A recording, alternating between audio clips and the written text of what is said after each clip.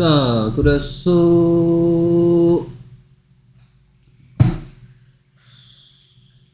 저것은 기린이니라는 것부터 해보면 될 것 같은데요. 저것은 기린이니. Is that a giraffe? Is that a giraffe? giraffe 한번 써볼까요? G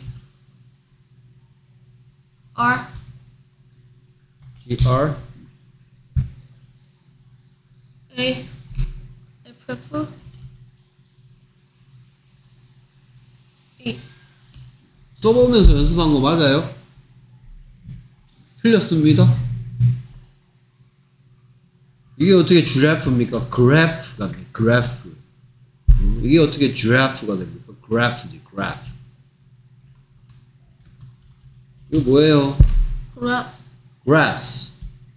여기까지 무슨 소리 내요, 그러면?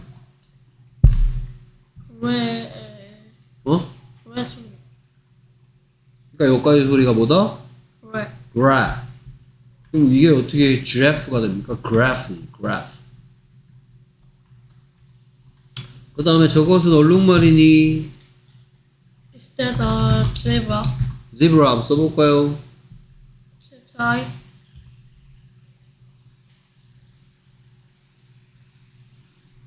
B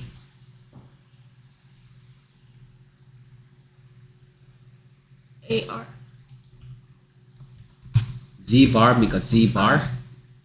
또 틀렸고요. 응? 저것은 코끼리입니까? Is that elephant? E L E P H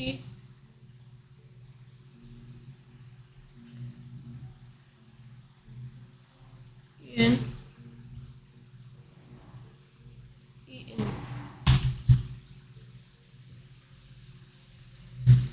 T 오케이. 자, 다시 공부해 오라는데 다시 다 틀렸어요. 어?